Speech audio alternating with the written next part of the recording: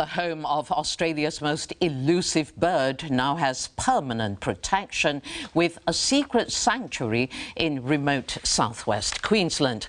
The night parrot was thought extinct until live sightings were confirmed three years ago. Now its home in a small patch of spinifex covered land has been declared a nature reserve. Far away from prying eyes somewhere in remote southwest Queensland. When the shadows grow long, scientists prepare to stalk one of the world's rarest birds. About half an hour after the sun goes down, um, night parrots are still sitting in their little triodia uh, or spinifex roost, daytime roosts, and they seem to start calling around about then. The moonlit hunt begins amongst the spinifex for this elusive parrot. Scientists don't know if there's a hundred or even just a dozen night parrots left in the area. The last one was caught a year ago and that was the first live capture in a hundred years. But they do know they're here because they can hear them. So we've recorded five main vocalisations now. Um, the main one we hear is a, um, a very sort of sweet, ringing, parrot-like ding ding. The one briefly caught was tagged and released.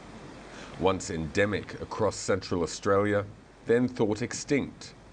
The land of the only known surviving colony has been bought by Bush Heritage to ensure their survival. The location is uh, very confidential. We've, uh, we've really put a, quite a big emphasis on trying to keep it that way.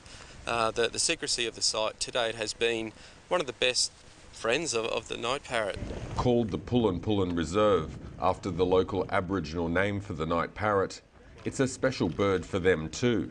Very emotional very spiritual um, to know that they're still here, and and and and really, it's good that Bush Heritage is doing that, so they will be protected forever. Now it's a race against time to save the remaining night parrots from predators, including using this world first poison cat trap. Satellite real-time monitoring will keep watch, especially for poachers a few years ago it was, it was put on as number one on the Smithsonian Institute's list of most mysterious birds. So it has a really high international profile.